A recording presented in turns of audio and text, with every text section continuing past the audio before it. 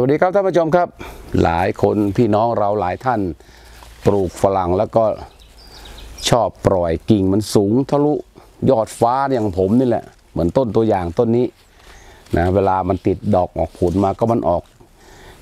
ยอดนู่นปลายกิ่งนู่นนะครับท่านผู้ชม จะห่อก็ยากจะเก็บก็ยาก เผลอๆลืมไม่ได้ห่อแมลงบันทองเจาะอ่า ฝรั่งของเราก็เน่าก็เสีย วิธีแก้ไขท่านผู้ชมไม่ยากครับ เดี๋ยวตามมาดูครับท่านผู้ชมครับ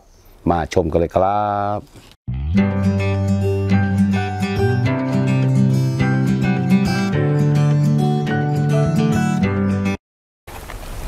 วิธีจัดการนะครับ ไม่ให้ฝรั่งของเราเนี่ยยาวสูงทะลุขึ้นบนฟ้าท่านผู้ชมเวลามันติดลูกติดไรมามันยากนะหลังจากที่เราหอ่อ นะห่อลูกตรงนี้เสร็จ หรือไม่ได้ห่อนะครับ เราก็ตัดกิ่งให้มันสั้นลงนะตัดกิ่งให้มันสั้นลงไม่ต้องเสียดายนะท่านผู้ชมครับ ตัดกิ่งตอนมันสั้นลงแบบนี้นะให้มันสั้นแบบนี้นะครับอ่าเสร็จแล้วลูกที่เราห่ออยู่เนี่ยมันก็จะโต เดี๋ยวกิ่งใหม่ของมันก็จะแตกออกมานะเมื่อมันแตกออกมาปุ๊บเนี่ยมันก็จะมีทั้งดอกและผล ทำให้กิ่งฝรั่งของเราไม่ต้องไปสูงชะลูดขึ้นไปบนฟ้าท่านผู้ชมตัดอย่างนี้แหละครับนะไม่ต้องไปเสียดายนะถ้าเรามัวแต่เสียดายปล่อยให้มันสูงสูงนะครับ ฝรั่งของเราก็จะไปนู่นแหละครับทะลุขึ้นบนฟ้านะครับอย่างของผมนี่แหละนะอันเนี้ยเนี่ยครับท่านผู้ชมเห็นไหมครับ กิ่งสูงห่อก็ห่อยาก เวลาจะห่อจะเก็บต้องโน้มมานะท่านผู้ชมไม่ต้องเสียดายมันนะครับ ไม่ต้องเสียดาย นะถ้าไม่เอาก็ตัดไปก่อนนะครับ ตัดกิ่งปลายมันออกนะครับ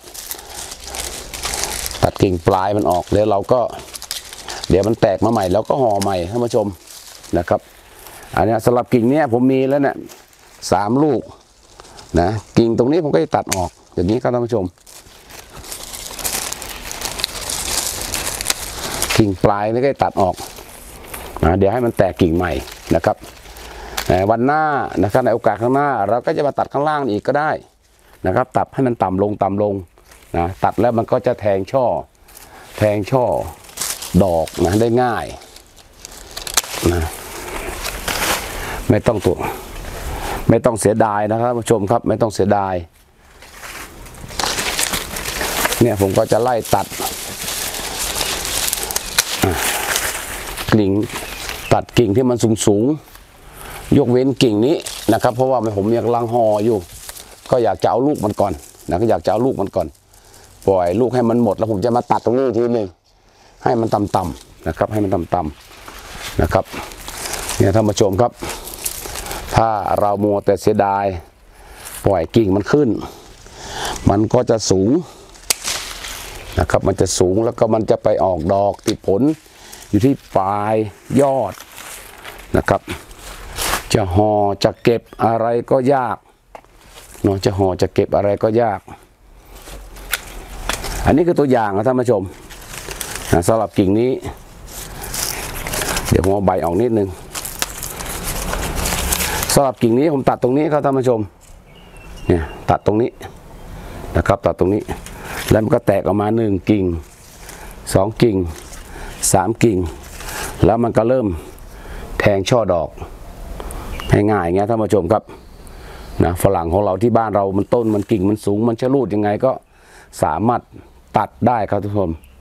ตัดปลายมันทิ้งเลยนะครับ ไม่ต้องให้มันยาวหรือมันสูงเกินไป เดี๋ยวมันก็จะแตกกิ่งใหม่ แล้วก็จะติดช่อดอก เราก็สามารถที่จะมาบริหารจัดการมายืนมัดยืนเก็บ ยืนห่อตรงเนี้ยมันง่ายๆต่ำๆเตี้ยๆนะครับท่านผู้ชมครับ ไม่ต้องปล่อยให้ฝรั่งของเรากิ่งสูงชะลูดขึ้นบนฟ้า กิ่งไหนสูงตัดครับ ตัดแล้วมันก็จะแตกใหม่ แตกใหม่ปุ๊บมันก็จะแตกดอก มันก็จะออกดอกนะครับ ออกดอกเนี่ยท่านผู้ชมก็จะมี3ามสี่ดอกนะสามสี่ดอกอเวลามันติดผลมาเราก็เลือกเอานะครับ จะเหลือไว้หนึ่งลูกหรือสองลูก เราก็คัดเอาลูกสวยๆแล้วก็ห่อเก็บไว้รอมันโตแล้วก็มาเก็บกินกับท่านผู้ชมครับ อันนี้ก็มาดูตัวอย่างกิ่งที่สองกิ่งที่สองผมตัดตรงนี้ครับท่านผู้ชม ตัดตรงนี้ ตัดตรงนี้ครับ เห็นไหมครับ ตัดตรงนี้ตัดตรงนี้ก็แตกนี่หนึ่งกิ่ง แตกออกมานี่หนึ่งกิ่ง แตกออกมาแล้วก็มีดอกมาอย่างนี้ครับท่านผู้ชม ติดดอก ติดดอกแล้วมันจะเป็นผลเนี่ยติดมาสองสามผลท่านผู้ชมก็เลือกเอาเวลาเราจะห่อนะครับ แล้วก็จัดการง่ายๆท่านผู้ชม กิ่งไหนสูงตัดทิ้ง แล้วมันจะแตกใหม่อย่างนี้ครับท่านผู้ชม แตกใหม่แล้วก็พร้อมจะแตกมีช่อดอก ช่อดอกแล้วก็จะติดผลให้เรานะครับ ต่อไปนี้ก็ไม่ต้องไปพะวงอีกแล้วท่านผู้ชมครับปลูกฝรั่งแล้วไม่ต้องกลัวว่า มันไม่ติดผลกิ่งมันสูงยอดมันสูงมันไม่ออกลูกออกอะไรอ่าเอาวิธีการผมไปทำเนาะไม่ยากครับท่านผู้ชมครับกิ่งไหนสูงตัดออก แล้วมันก็แตกกิ่งใหม่ แตกกิ่งใหม่เดี๋ยวมันก็จะเป็นลูกให้เรานะครับ มันก็ติดดอกออกผลให้เรา เป็นอย่างไรกันบ้างครับท่านผู้ชม หลังจากที่ได้หลังจากที่ผมได้แนะนำในเรื่องของการตัดแต่งกิ่งฝรั่งไม่ให้สูงนะครับเมื่อหลังจากที่เราหอ่อ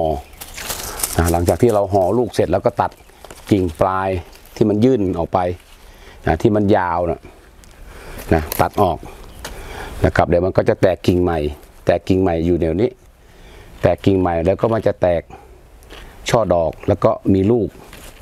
เราก็สามารถบริหารจัดการได้ง่าย จะหอ่อนะก็ง่ายจะเก็บก็ง่ายนะครับถ้าเราไม่ตัดมันก็จะสูงชะลูด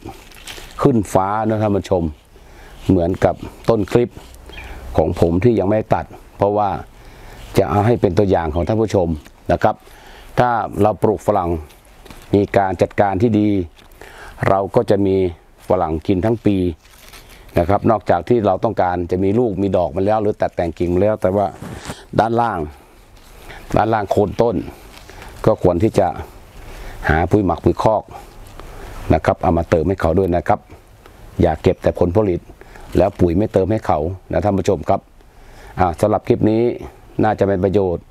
สำหรับพี่น้องเกษตรกรมือใหม่ พี่น้อง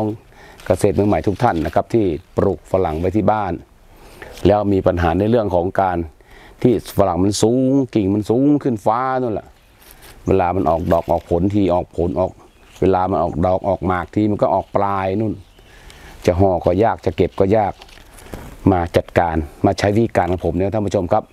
แบบนี้ง่ายดีครับ มันแตกใหม่เราก็จะได้ดอกได้ได้หมากมันใหม่ เราไม่ต้องไปใช้บันไดหรือเก้าอี้ ปีนขึ้นไปที่สูงเพื่อจะไปห่อฝรั่ง วิธีการนี้ง่ายนะครับท่านผู้ชมครับ พบกันใหม่ในคลิปหน้าครับ สวัสดีครับ